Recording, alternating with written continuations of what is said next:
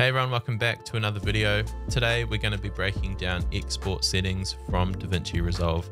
And there are four different types of export settings that we're going to look at. The first one is a low res export that will send to Frame.io or Vimeo.com for review.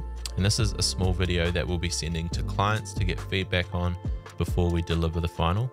The second export will be an H.264 master, which will be the final master that we upload to YouTube or Vimeo to essentially sit online for the world to see. The third type of render is an Apple ProRes 4444 uncompressed render and essentially this is the master render that will sit on our hard drive in case we ever need to refer back to it or ever need to re-encode it for a different type of online deliverable. A lot of the work that we do isn't just for online. Sometimes we need to send it off to cinema or send it off for a particular TV station. And every one of those different delivery pathways have different specifications. So it's important to have a ProRes master to be able to put into Adobe Media Encoder to re-encode any type of different deliverable that we need in the future. And the fourth type of export that we'll be using today is an uncompressed ProRes master without any color grade or any visual effects done to the footage. And so this is essentially a way to future proof the archive in case we ever want to remaster it or regrade it. So let's jump into DaVinci Resolve and have a look at this project as an example of these four renders. Obviously when you're rendering you want to head to the deliver page and then on the left hand side here you have all of your settings come up. The first type of render that we want to do is a H.264 compressed, relatively small uh, render for online review. And so I'm simply just going to render to my scratch disk and we'll just call this online review 01. Now I should mention that I always render to an external SSD drive that is also used as a scratch disk. This technique will speed up your renders if you are using slower hard drives, but the principle behind it is you're just splitting the read and write away from one drive and separating it across two. So if your raw footage is sitting on one drive, we want to read off this drive and render to another drive so that this drive is not having to do the work of reading the footage and writing the new render to the same drive. So it's just removing any bottlenecks. It may speed up your render slightly. When it comes to this low res online review render, we can use QuickTime or MP4, but we essentially just want an H.264 render in the resolution that we want to deliver. In this case, it's a Cinema 2.39 crop at 2048 by 858 pixels. The frame rate is 25. This will be determined by obviously your timeline. And then for the quality, I'm just going to restrict it to 10,000 kilobytes a second. This is quite low and it's quite a bit of compression, um, but it just keeps the file size right down. Encoding profile and the mode here can just be auto and then keyframes is automatic. That's totally fine. What is important to change is the color space tag, and I'm just going to make sure that this is in Rec 709 and the gamma tag is Rec 709-A. The Rec 709-A gamma tag is something that DaVinci's brought out recently to give more compatibility to the Apple QuickTime preview. You'll see on the internet there are a lot of people complaining about a gamma shift when you export your colors out of DaVinci Resolve and play it in QuickTime on an Apple Mac computer. You'll notice that the colors are very different. So that gamma tag is essentially a gamma 2.4 tag with more compatibility for QuickTime. Data burn-in is fine for this, and we just want to pay attention down here, and this is really important depending on how you've set your project up and worked through your edit. So if you are using optimized media or you've created proxies and you've used a lot of render cache when it comes to creating your timeline, for example, you might put effects or some special transition that you need to render cache while you're editing. It's important when you do these first renders for online review that you make sure these boxes are checked. And what this is essentially doing is using those pre-renders, using the proxies and using the optimized media to form your render. So the computer is not having to re render or re encode all of those different effects. This will make your renders for review way faster than they would be if you had these unchecked. Continuing down, we'll leave enable flat pass off, and this will become apparent when we do our fourth type of render and subtitle settings. You can choose whether you have subtitles or not. Often when we're doing a first render, we're not worrying about subtitles because we only create subtitles once the final edit has been locked. And so we will leave that for now. Click add to render queue and then the render will be put into the render queue. And once we've finished all four of these, we'll be able to render all of them. So the second type of render is presuming we have finished our entire project, it's looking great and the final color grade has been done and we want to create a master render with an H.264 compression for online delivery. So this is when you're delivering it to Vimeo or YouTube for online delivery, and this will most likely be embedded in a website of some description. Now the settings are very similar to the first render. I'm just going to change this name to H.264 Master, and this will be our second render. Scratch disk is fine for this, and QuickTime H.264 is totally fine. Now when it comes to resolution, often we edit in a lower resolution format just so that we can have smooth playback on the timeline. Now with the resolution for this final H.264 master, we really want to be maximizing the full extent of all the raw footage or camera original footage that is in our timeline.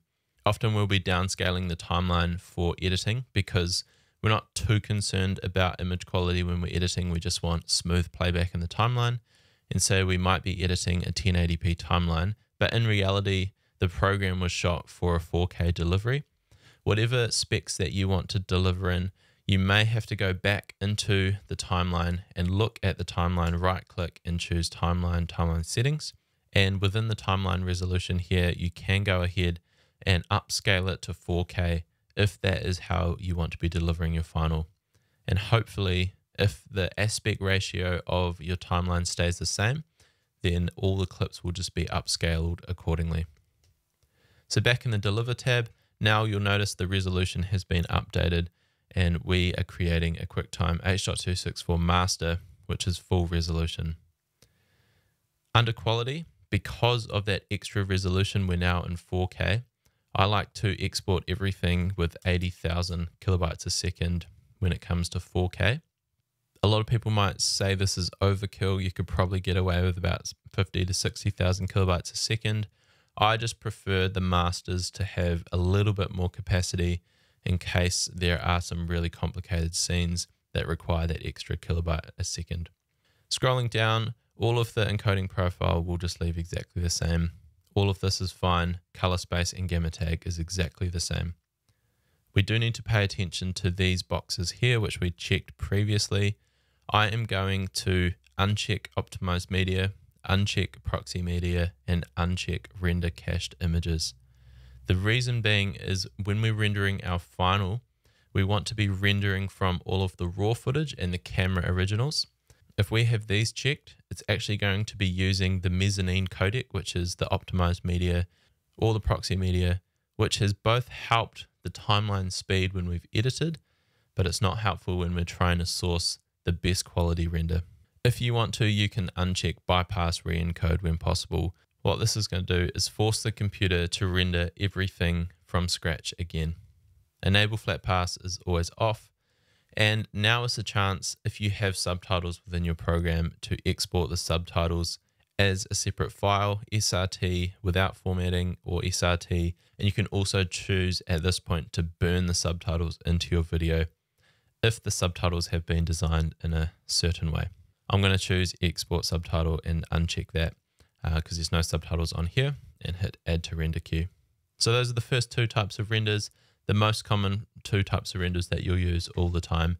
A lower resolution render for client review and then a full resolution H.264 master for online delivery. Now let's say it's been delivered, the client's really happy and the project has been completely signed off. Now the next two types of renders are more for internal use and for archiving purposes, and this ensures that this project will be safe for the future. So what we're going to do is head up and I'll just call this ProRes Master. And this ProRes Master will be a QuickTime codec because we are using a Mac computer. If you're on a Windows machine, you'll be using some form of DNxHD codec. And we will be choosing Apple ProRes for the codec. Now, depending on the camera originals, you may not need to use Apple ProRes 4444, but if the camera original was shot on RAW or some kind of codec that has at least 12 bit color, then you're going to want to use Apple ProRes 4444 because essentially you want this codec or this wrapper to be big enough to hold all of the detail that was in the camera originals. We're going to be rendering this at the resolution of the timeline. And you'll notice with the Apple ProRes renders, there are no additional uh, bitrate compression settings. And that's because it's all determined by the type of Apple codec that you use. Now, every other setting underneath the codec is relatively the same as our H.264 master. But what you can also choose is the force sizing to highest quality and force debayer to highest quality. Enable flat passes off, and again, the subtitles can be there if you want them. I would never burn in the subtitles when it comes to an archive render though. So now we have a really high res QuickTime Apple ProRes render. We'll add that to the render queue. One thing that you will notice is that this render here will be significantly larger than the H.264 master render. Okay, so now finally what we want to do is create a flat archive render. And this is really helpful in situations when we want to bring in all of the original timeline um, and perhaps tweak the colors or remaster it.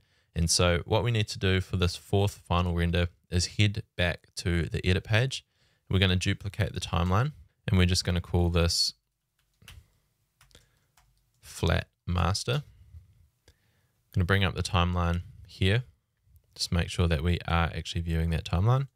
So what I'm going to do here is remove all of the titles and visual effects and any type of additional content to my raw footage.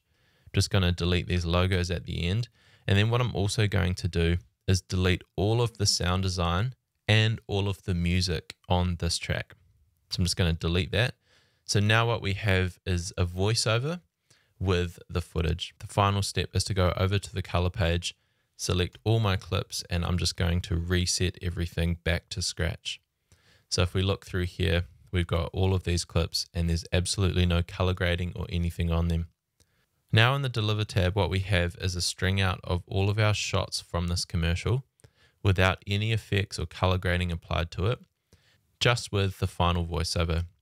So we're going to rename this ProRes Master Flat and use the exact same settings as we did before for the final ProRes master, but we're going to make sure that enable flat pass is always on for this setting.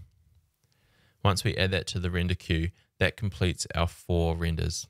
And the reason I like to render it without any color grading or effects is because if at any point in the future I need to pull this timeline in, perhaps I need to pull this timeline in to a new project for the client, and maybe their tastes have changed. Maybe it's been rebranded in a slightly different way. And if I need to remaster this or use certain shots out of this timeline, it's going to be difficult for me to do that if the color grade and effects are baked into the master ProRes.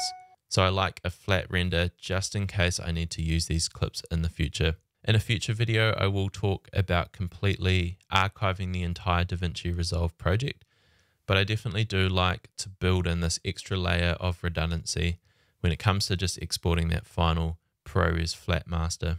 You'll notice I've also kept the voiceover and that's just handy to have in the file in case we want to remaster it and put new music or create kind of different sound design elements underneath the voiceover, then it's just there in the file if we need it. Those are the four different types of renders I use for every project. Just to recap really quick, we have one render that is a lower res H.264 for online review.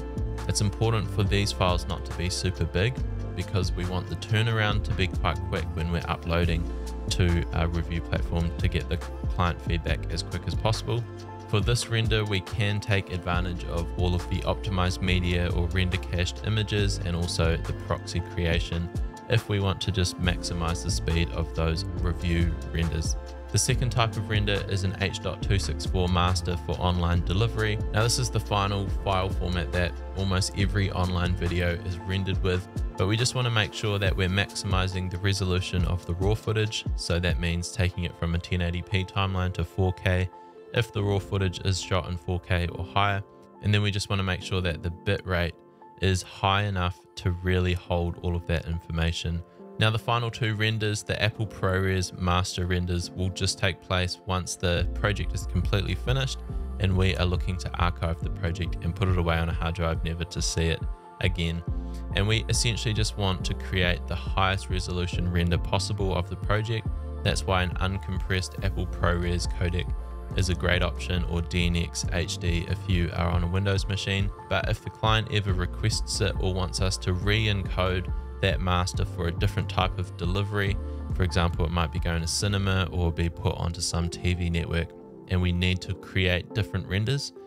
Instead of opening up the entire project again from the DaVinci Resolve archive file, we can simply just pull in the Apple ProRes render into Adobe Media Encoder and spit out any additional formats we need from the ProRes master. And the final render that we talked about today is essentially just an uncompressed, raw, no effects applied render to ensure that we have all of the shots used in our final program rendered with an uncompressed codec with no effects if we ever need to use it or remaster it in the future.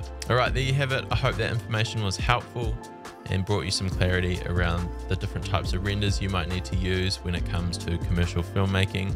As always, please comment below if you do have further questions. Hit the bell notification, subscribe, and like this video. It would really help this channel grow. Thanks for tuning in, and we'll see you in the next video.